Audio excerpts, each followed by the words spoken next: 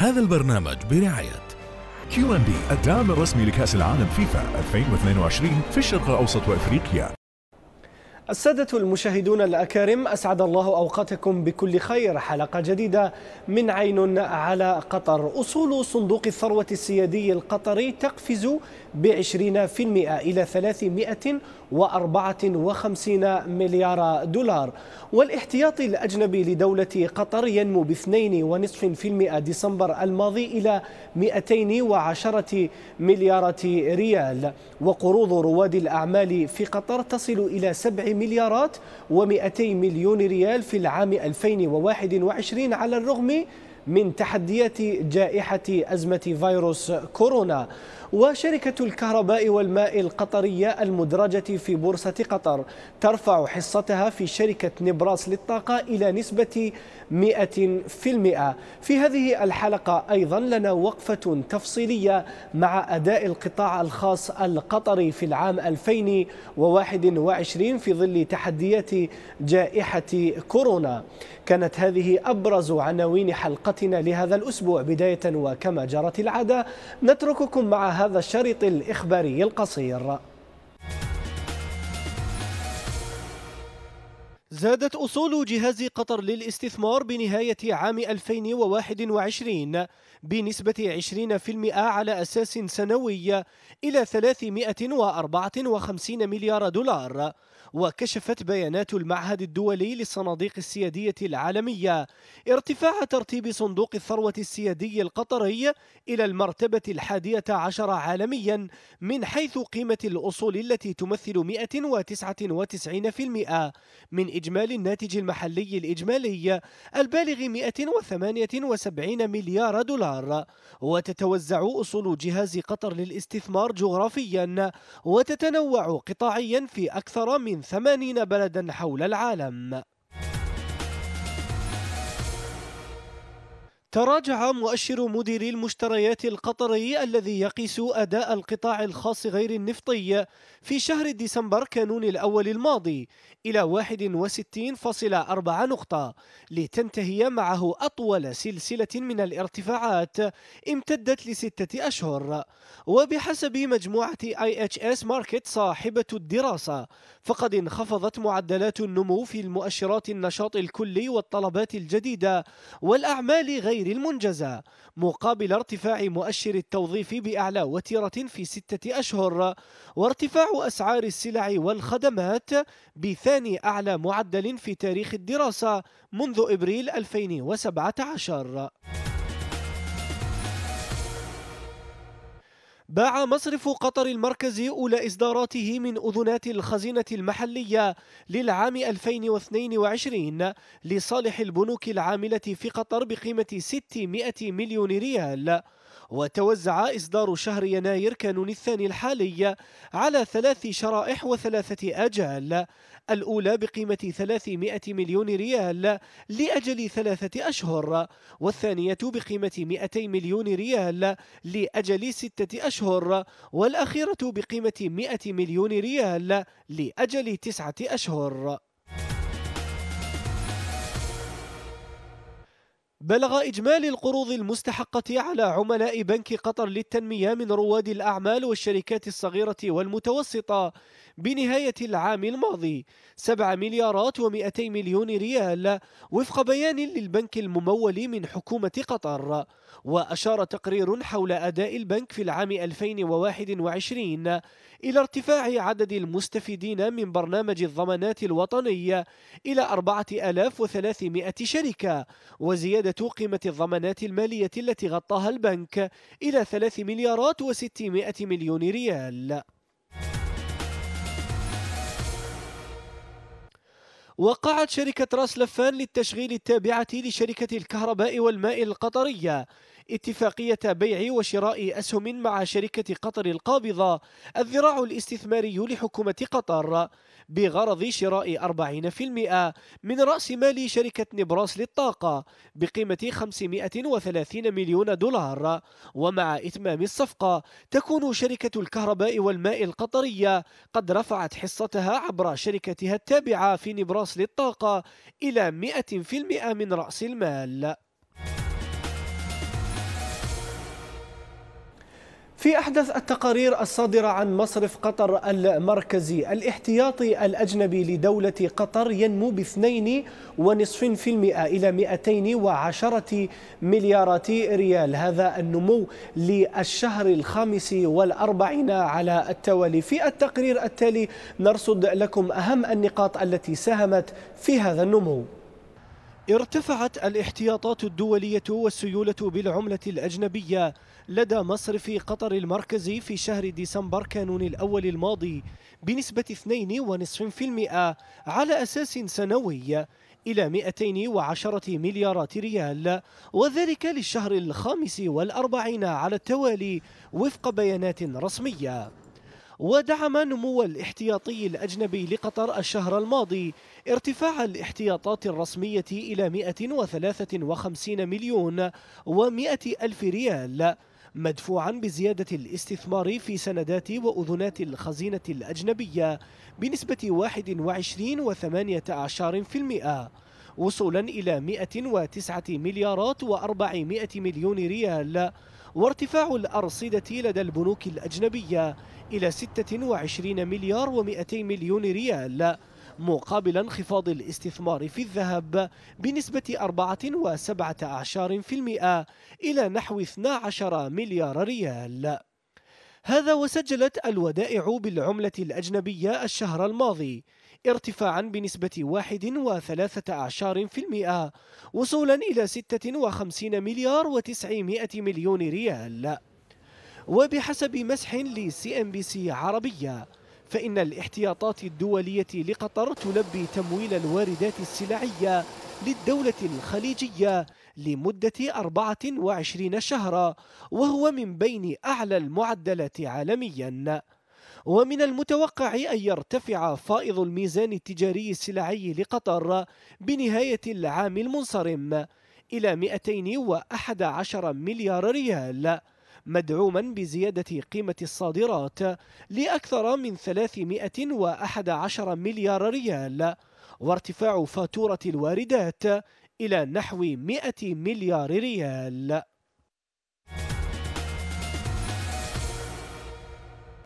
بقي القطاع الخاص القطري في العام 2021 رهينة للإجراءات الاحترازية والصحية المفروضة من الحكومة القطرية خاصة في الربع الأول والثاني من العام الماضي. العديد من شركات القطاع الخاص الصغيرة والمتوسطة وفي قطاع المقاولات خرجت من السوق بفعل شح السيولة وكذلك قلة الطلب على مخرجاتها. بينما صادرات القطاع الخاص لم تسجل في العام الماضي رقما يذكر قياسا بحجم الصادرات الإمارات الخاص بدولة قطر. في السياق التقرير التالي نرصد لكم أهم وأبرز أداءات القطاع الخاص القطري في العام 2021 تفصيلاً.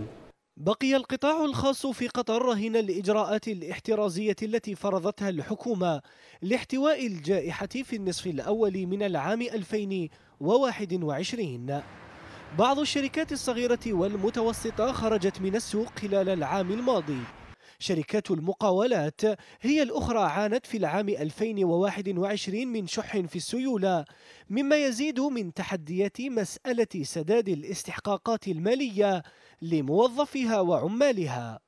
شركات كثيرة يعني أغلقت وشركات تضررت كثيرا لكن إن شاء الله أنها يعني الفترة القادمة يعني تعزز ما, ما تم خسارته في الفترة القادمة وهذا دور القطاع الخاص بتعاوننا مع بعض أنه يعني المحافظة على هذه الشركات والمحافظة على هذا القطاع أن ما يكون فيه ضرر كبير في هذه الفترة. نتمنى أن هذه الجائحة تنجري بأكملتها ويتم العودة لها. آه، نتمنى ولكن القطاع الخاص في هذه الأزمة آه، يعني بدل ما يكون هناك ضرر كبير هو فعلا في هناك ضرر لكن قوى من قوته ومر في في في في امتحان صعب راح يستفاد منه في الفترة القادمة لأي ظروف ممكن يمر فيها القطاع الخاص. صادرات القطاع الخاص القطري لا تمثل رقما من إجمالي صادرات الدولة في العام 2021 التي نهزت 300 مليار ريال.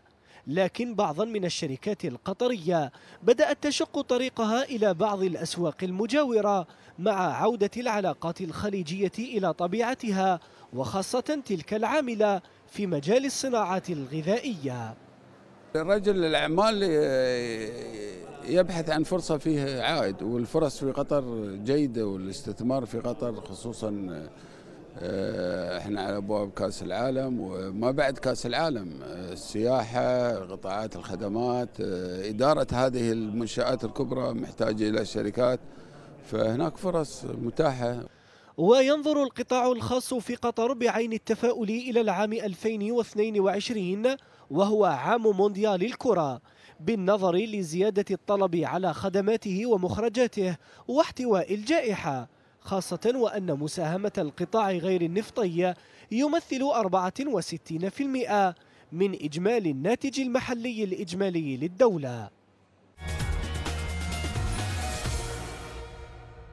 عاد منحنى الإصابات في دولة قطر للارتفاع من جديد تقريبا ثلاثة ألاف إصابة في اليوم الواحد في الأسبوع الثاني من بداية هذا العام. الحكومة القطرية سارعت للرفع من الإجراءات الاحترازية والصحية عبر مجموعة من الإجراءات الجديدة خاصة تلك المتعلقة بالجوانب الاجتماعية على غرار تقليص الطاقة الاستيعابية للمطار المطاعم المقاهي كذلك تقليص الطاقة الاستيعابية للمجمعات التجارية ومنع الدخول إليها لغير المطعمين. كذلك ربما هناك حالة من الإجراءات الأخرى التي تسارع الحكومة القطرية اتخاذها من أجل احتواء هذا الانتشار للفيروس والمتحور الجديد. في التقرير التالي نرصد لكم أهم الإجراءات الاحترازية التي فرضت مجددا والتي لم تخص ولم تلمس بشكل كبير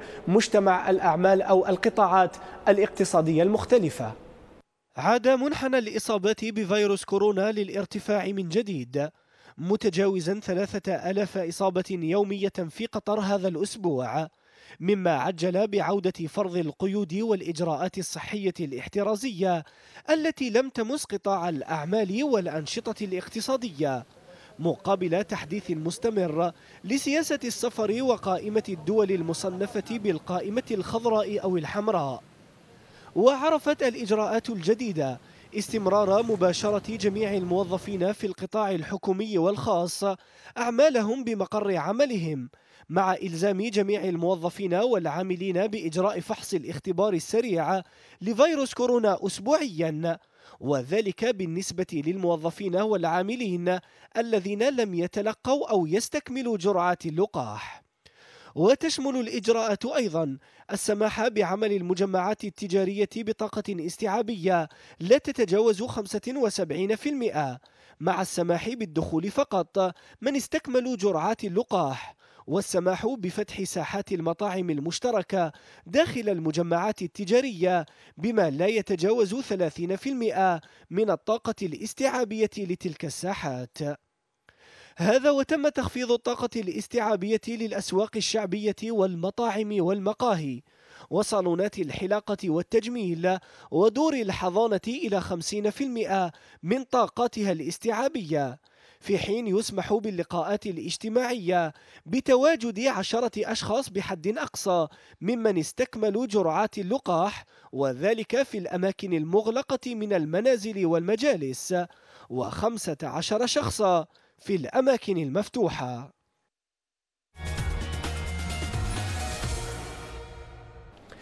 فاصل قصير أعزائنا المشاهدين في القسم الثاني من الحلقة لنا وقفة تفصيلية مع نتائج أعمال بنك قطر الوطني أولى المفصحين عن النتائج المالية من بين الشركات المدرجة في بورصة قطر. لا تذهبوا بعيدا ابقوا معنا.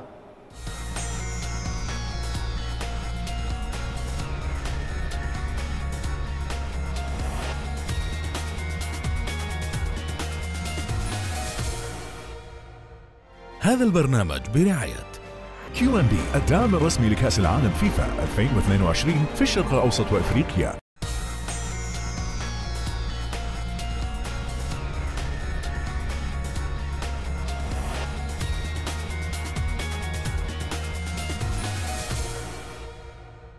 هذا البرنامج برعاية QNB الداعم الرسمي لكأس العالم فيفا 2022 في الشرق الأوسط وأفريقيا. مرحبا بكم من جديد أعزائنا المشاهدين. هذا الأسبوع بنك قطر الوطني يقص شريط الإفصاح عن البيانات المالية للشركات المدرجة في بورصة قطر وذلك عن العام 2021 أداء جيد كان لبنك قطر الوطني QNB نمو في القروض نمو في الودائع وكذلك في السلف. على الرغم من ذهاب البنك إلى مخصصات تخص تقلبات سعر الصرف الخاص بالليرة التركية. في العرض التالي أبرز ملامح أداء البنك في العام 2021 في لقاء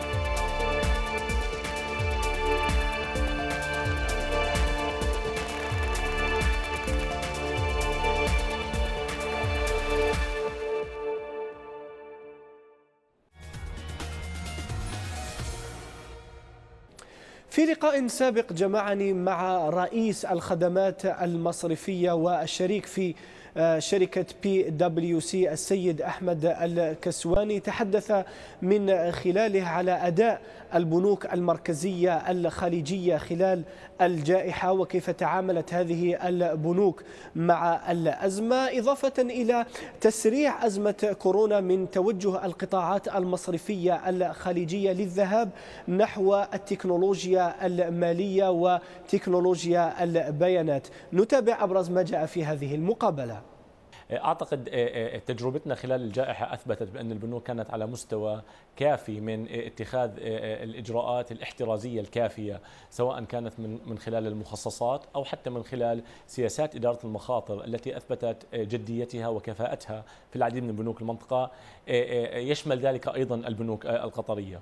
أعتقد هذا الانفراج يأتي كجزء من نوع من رضا على مستوى القبول الذي قال قامت به البنوك المركزية على مستوى البنوك التجارية سواء الإسلامية أو الغير إسلامية في المنطقة بالإضافة للاجراءات الاحترازية والتغيرات بالسياسات التي قامت بها تلك البنوك. بغض النظر عن الأمور المتحورة في الجائحة أعتقد البنوك المركزية سوف تسعى وباستمرار إلى المحافظة على توازن ما بين السياسة التحفظية الاحترازية وأيضا في نفس الوقت المحافظة على مستويات مقبولة من انكشافات البنوك على عدة قطاعات داخل داخل قطاعات الأعمال. أعتقد هذا الانفراج قد يزيد خلال الفترات القادمة أيضا في ظل وجود تقارير مالية جيدة للبنوك القطرية وحتى بنوك المنطقة المتوقعة على نهاية العام 2021.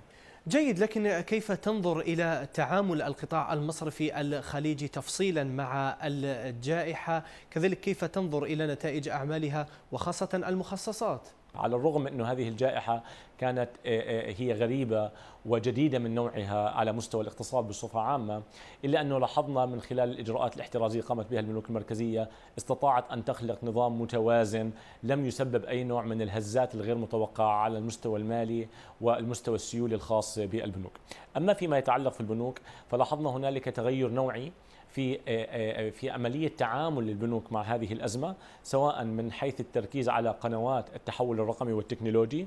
زاد هنالك آه، آه، وتيرة وسرعة تطبيق العديد من قنوات الرقمنة وقنوات ال digital banking المتعلقة بخدمة العملاء.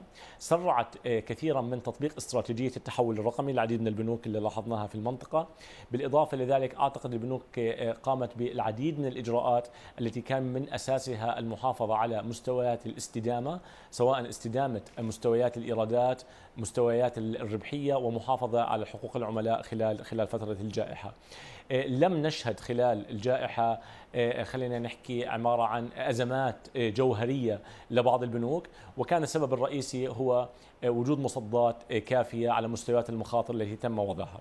كذلك ما هو تقييمك إلى توجه البنوك المركزية والقطاع المصرفي الخليجي لتسريع العمل نحو التكنولوجيا المالية خلال الجائحة؟ كيف تقيم هذا الأمر؟ كذلك ماذا عن التفاوت بين الدولة وأخرى؟ هناك بعض الدول سرعت في حين نلاحظ أن بعض الدول ربما كانت خطواتها بطيئة إن صح التعبير.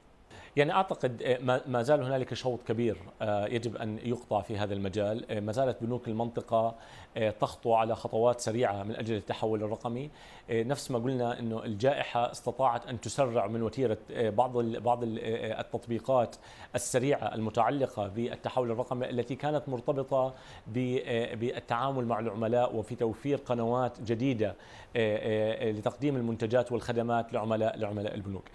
ما نشهده حاليا آه، أعتقد أن البنوك تتجه إلى آه، منتجات جديدة بنسميها out of the box أو خارج الصندوق تستطيع البنوك أن تقدمها إلى عملائها وأن تكون غير نمطية مقارنة في المنتجات السابقة وهذه المنتجات أعتقد خلال عام 2022 سوف نبدأ نشهد نوع جديد من هذه المنتجات خاصة تلك المنتجات التي تقدم بالتعاون مع شركات التحول الرقمي أو حتى شركات ال financial technology التكنولوجيا الرقمية المتعلقة في في الصناعة المصرفية. المحور الآخر آه، آه، يجب أن ننوه له أنه أيضا البنوك المركزية الآن تخطو خطوات جدية في المنطقة إلى وضع أطر رقابية وتشريعية لتقنين آه، الصناعة المصرفية المرقمنة خلال خلال العام القادم والأعمال القادمة، هذا أيضا سوف يساعد في تسريع وتيرة التطبيقات الموجودة حاليا وأيضا تسرع من وتيرة تحفيز بعض المنتجات التي قد تخلق نوع من الطلب على هذه المنتجات في أسواق متعددة خاصة في ظل تمحور وانغلاق الديماند أو الطلب حاليا في بعض الأسواق الخليجية بسبب قلة وعدم تنوع المنتجات. أسألك هنا كذلك كيف ترون وتقيمون آه، إنفاق البنوك الخليجية وكذلك القطاع المصرفي بشكل عام على استحداثات هذه التطبيقات التكنولوجيا وكذلك العمل على قواعد البيانات ما تقييمكم لهذا الأمر؟ يعني أعتقد إذا اليوم بنشوف ميزانية أي بنك من البنوك في المنطقة سواء بنوك إسلامية أو غير إسلامية نجد بأن هنالك موازنة آه، آه، رصدت لهذا التحول الرقمي. والسبب الرئيسي أن هنالك قطار سريع جدا الآن يمشي على مستوى رقمنة الصناعة المالية المصرفية سواء الإسلامية أو غير الإسلامية. وبالتالي أصبح هذا آه، نوع من الضغط على البنوك بأن تلحق في سير هذه القطار. وأن تستطيع أن تتواءم وتتواكب مع التطورات الحديثة جدا. عملية الإنفاق على ذلك يعتبر إنفاق رأس مالي لأنه عبارة عن استثمار في استراتيجيات والتحول النوعي الذي حصل خلال الجائحة يمكن لاحظناه أنه أصبح هنالك تركيز على التحولات التكتيكية سريعة الإنجاز التي لها نتائج تتحقق على المدى القصير دون الإنفاق على مبالغ كبيرة جدا ذات العوائد التي قد تصل إلى سنتين وثلاث وأربعة. وبالتالي الإنفاق أتوقع راح يزيد أكثر على التحول الرقمي مع التركيز على الكويك وينز أو النقاط الربح السريعة التي تستطيع البنوك أن تحققها من التحول الرقمي. بهذا أعزائنا المشاهدين تكون حلقة عين على قطر لهذا الأسبوع. قد وصلت إلى آخر محطاتها في الأسبوع القادم. نلتقي فالسلام عليكم ورحمة الله تعالى وبركاته.